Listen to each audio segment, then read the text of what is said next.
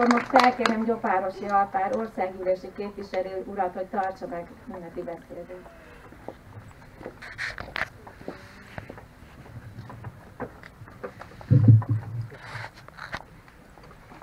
Tisztelt polgármester asszony, igazgató asszony, kedves gyerekek, kedves szülők, kedves pedagógusok, először is engedjék meg, hogy megköszönjem a kedves meghívást, a kedves invitálást.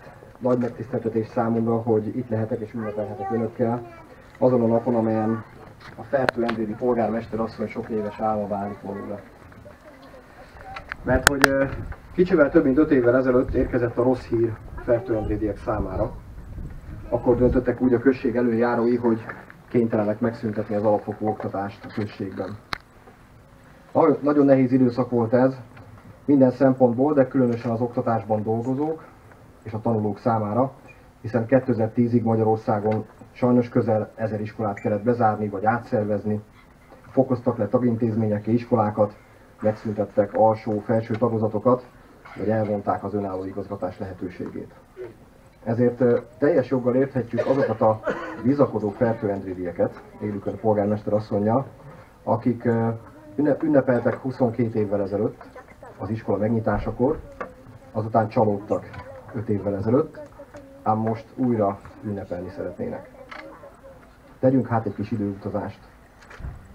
Ha fellapozzuk a megyei sajtó 22 évvel ezelőtti kiadványait, akkor a következőkkel találkozunk. Fertőendrét község előjárói hosszas tervezgetés, pénzügyi takarékoskodás után iskola épület építését határozzák el. Létrehoznak egy alapítványt, amelyet a falu szülöttéről, a kommunista diktatúra mártírjáról, Endrédi Vendel apátúról neveznek el.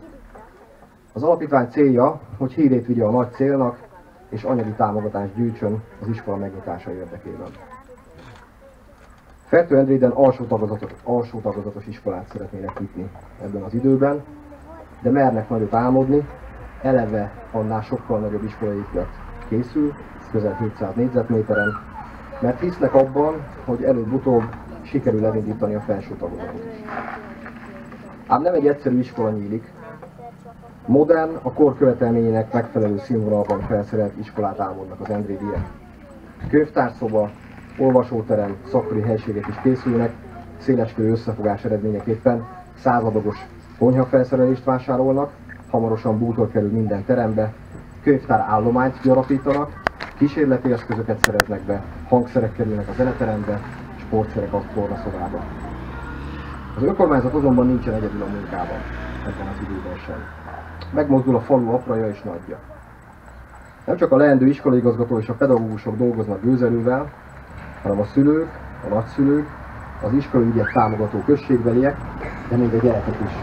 Takarítanak, tantermeket meszelnek, és készülnek a nagy napra, az első tanévítő ünnepségre.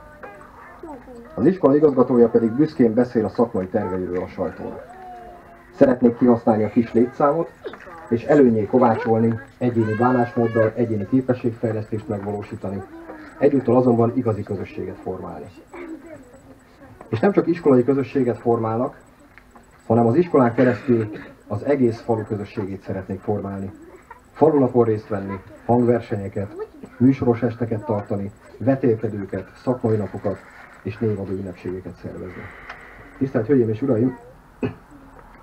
Ahogy olvassuk ezeket a sorokat, és azután körülnézünk itt ma, beszélgetünk az újranyíló iskola pedagógusaival, amolyan deja vu érzésünk lehet, mint hogyha már valahol láttuk, hallottuk volna azt, ami itt történik az elmúlt időszakban. Amikor három évvel ezelőtt polgármester asszonynal munkakapcsolatba kerültünk, ő akkor még csak polgármester jelölt volt, és megkérdeztem tőle, hogy mik a legfontosabb tervei Fertőendréden, akkor ő az első között említette az iskola újranyitásának lehetőségét, vagy legalább az épület hasonló célra történő hasznosítását. És emlékezzünk csak a 22 évvel ezelőtt történtekre, és vetítsük ki a közelmúltra. A település vezetése szervezkedett, takarékoskodott.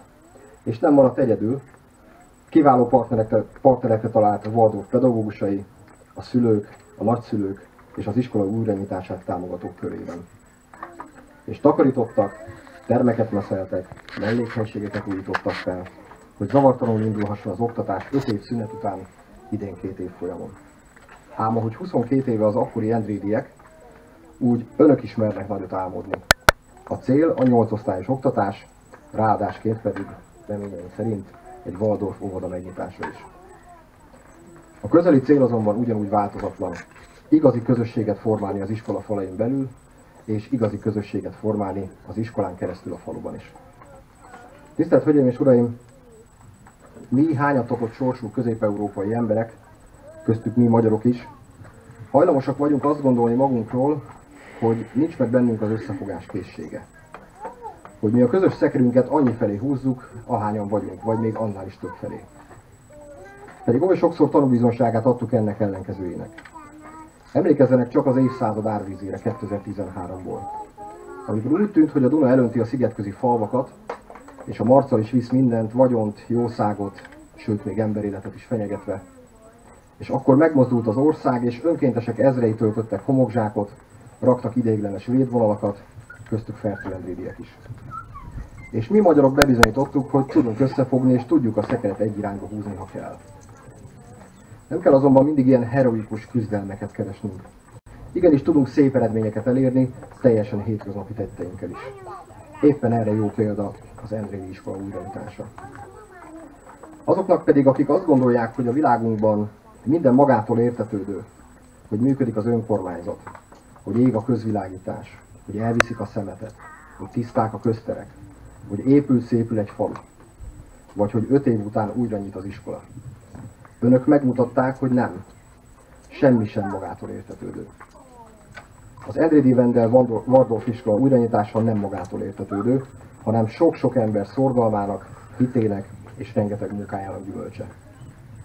És ezt a gyümölcsöt, az újranyitott iskolát ma ők, önök, mi közösen ajándékba adjuk fertőendég minden polgárának.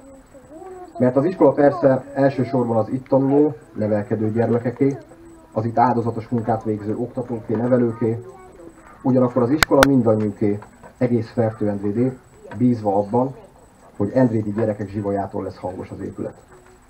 Tisztelt Hölgyeim és Uraim, kedves nevelők, kedves gyerekek! Elsősorban azt kívánom önöknek, nektek, hogy az iskola névadója Endrédi Vendel lelkülete hassa át az intézményt. Ő tudta, hogy szorgalommal, kitartással és elsősorban a Jóistenbe vetett mély hittel nyerhető el a földi és az égi üdvösség.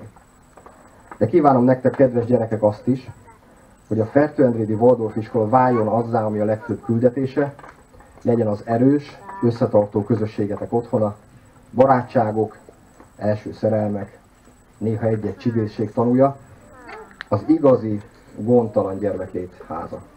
Szívből gratulálok mindannyiuknak az iskola újranyitásához, és kívánok mindannyiuknak jó egészséget az itt folyó munkához és az itt folyó tanuláshoz. Isten éltesse a diákokat, Isten éltesse a szülőket, Isten éltesse a tanáraikat, Isten éltesse Fertő Endrédet, és köszönöm szépen, hogy önökkel ünnepelhetek.